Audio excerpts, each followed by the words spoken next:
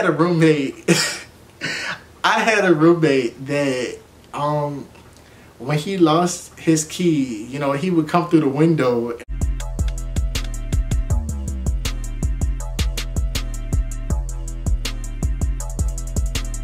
What's good everybody? I'm Will and you are watch Trendsetter Will TV. Alright, so if you're new to the channel, thank you so much for clicking on this video. I appreciate you, you know, because you ain't have to do this, but you did it anyway. And if you're old, welcome back. I appreciate you for coming back, you know.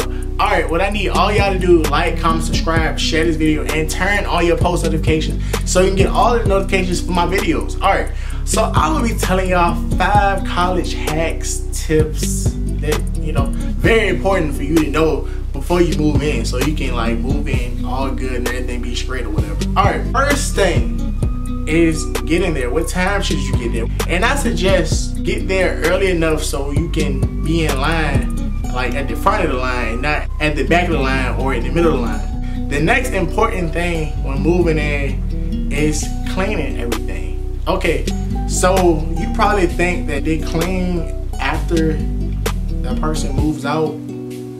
Sometimes they do, sometimes they don't. But what you want to do is take that initiative clean up. You probably look at the surface and be like, oh, well, there's nothing here. But I'm trying to tell you, like, germs, bacteria, like, that's a real thing. So you want to get you some Lysol spray, some wipes, all types of cleaning stuff so you can wipe down and clean before you move in. You don't want to bring your stuff that's clean from your house to a dirty dorm room. I'm trying to tell you, look, clean before you unpack anything. Next thing is packing your clothes. You probably packed all of your clothes in suitcases. Do not pack your clothes in suitcases. If you're riding public transportation, going to school, only put your stuff in suitcases. But if you're riding in the car from your house to school, leave them on hangers and just hang your clothes up instead of just unpacking out of suitcases and putting them on hangers. If you have any, and if you don't have any, you gotta go to the store and get some.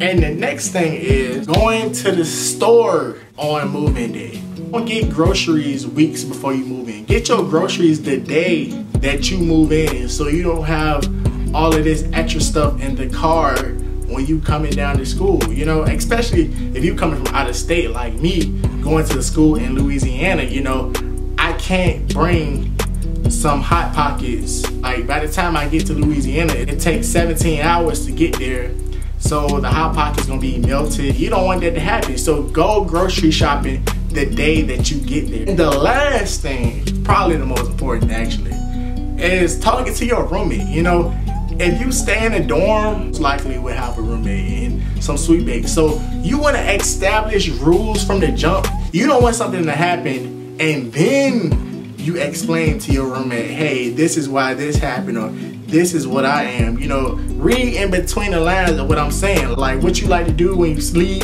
and all types of stuff. Talk to them. Your roommate is the person that's going to be there with you every day. You know, he or she lives with you. Speak to them. You must communicate with your roommate. So it's better to talk to them before anything happens, you know, so that you it can be prepared. Like if you're trying to get somebody to come over and you don't want them to be there, especially if you know you are not comfortable with them knowing what you like or what you like to do, talk to them so they don't come into the room, you know.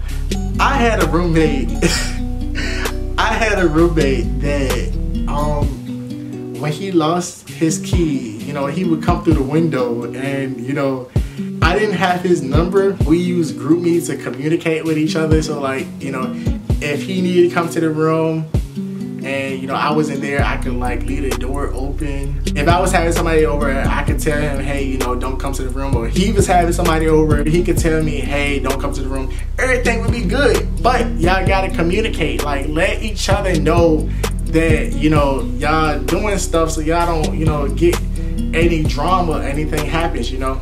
But that leads me to the end of the video. I hope that you enjoyed this video so much. You know, please like, comment, subscribe, share this video, and turn on your post notifications so you get all the notifications for my videos, you know.